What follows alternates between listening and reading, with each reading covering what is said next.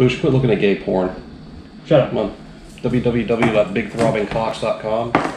How did you see my phone?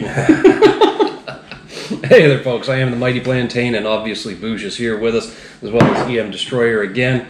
We are checking out something tonight that I wasn't 100% expecting. Um, I was planning on picking it up after you showed me the picture and we spotted it at Damon's, but this is uh, on the house, so to speak. Thanks again. Anytime. Very much appreciate it.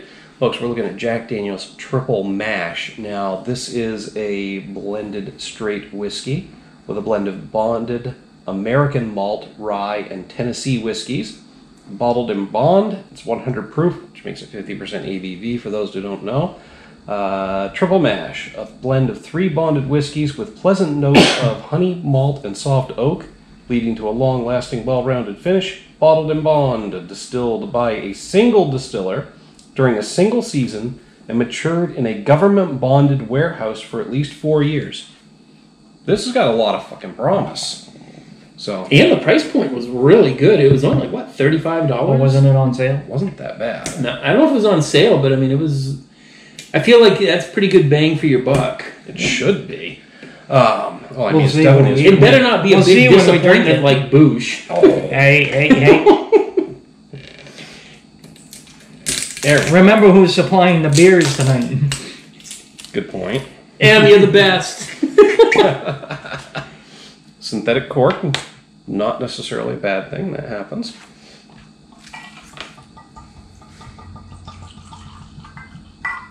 I'm gonna try not to go too crazy because we gotta get through a few things tonight. Thinking right about there. That Look looks good. Okay. Oop, I messed up your table. At least I didn't hit my phone. That's the one thing that gets me, and that's why they put the. I went heavy on you, Boosh. Sorry. I went light on the crown though, so it's just getting you back for that. All right. It's got some decent legs on it. There's something underneath. Yeah, it's table. There is. Dumbass. Do you remember you were asking me in the store about the difference between a, a, a regular whiskey and a rye whiskey? And I was trying to explain you Yeah. know, the difference between white bread and rye bread. Right. I This can could be an smell example of it. Yeah. You smell the rye a little bit. Uh, You know what I'm I'm kind of getting is almost like a like um, a peaty, Maybe. almost Maybe like a a scotch, smokiness. almost like a scotch. It's it's. I'm getting a little bit of that smoky. Yeah. So it should be good. Either boys. way. Cheers. Cheers.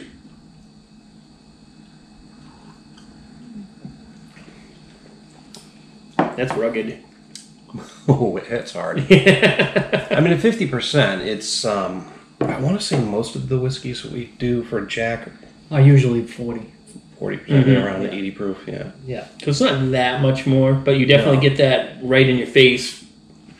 You do get that right up front. But Mhm. it, it, It's to me, mellow on the way down, though. It's really fading away quick. mm-hmm. It's smooth. But you're getting that that smokiness.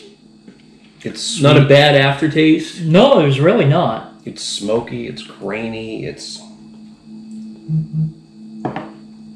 It's actually it's like not butter. bad. I feel like this could be dangerously good. Yes, It's like butter.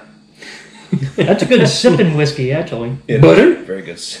Ski. Bud, Oh my god, that is that's very good. damn. Mm-hmm. Even I drink that. I don't. I'm not really a big This is a good sipper. American whiskey. Mm-hmm. I like scotches, but I'm not really a big American whiskey drinker. But I would I would do that. This is a um, this is a limited release. Might be something worth stocking up on. Honestly. Yeah. Yep. Yeah, and there was another one too. It was this one and a was it a oh, I can't remember. I think it wasn't. it. Was it just a cask strength with Jack? I think Might have been. might have been that. I want to say it was a cask. This one was the one that looked like more appealing. Yeah, yeah. I mean, you could take Jack and you can make it a cask strength any day. Mm-hmm. That's all you're doing is not watering down your whiskey when you bottle it. Yeah. Um, this is a blended with a Yeah. couple of other things in it that just worked out really, really well. Picture like a, a fire on like a fall evening with one of these. Yep. Hell, I'd do this around fire right now, Yep. and I'm sweating. And it and it actually is kind of it is a little bit usually you wouldn't think of it with with liquor. Mm-hmm. It is a little refreshing.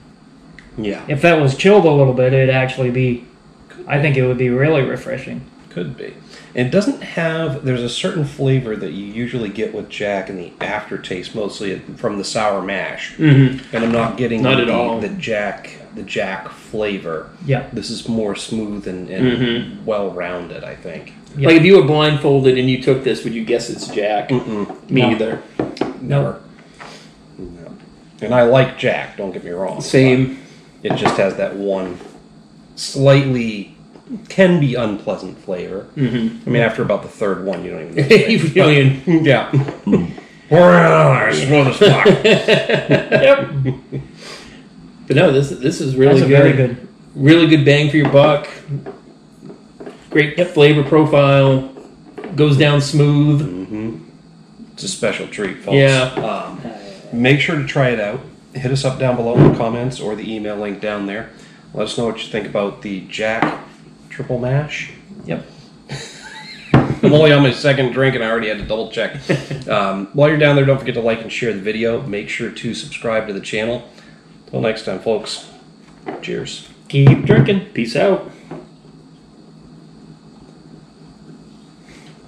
There, I finished it that time.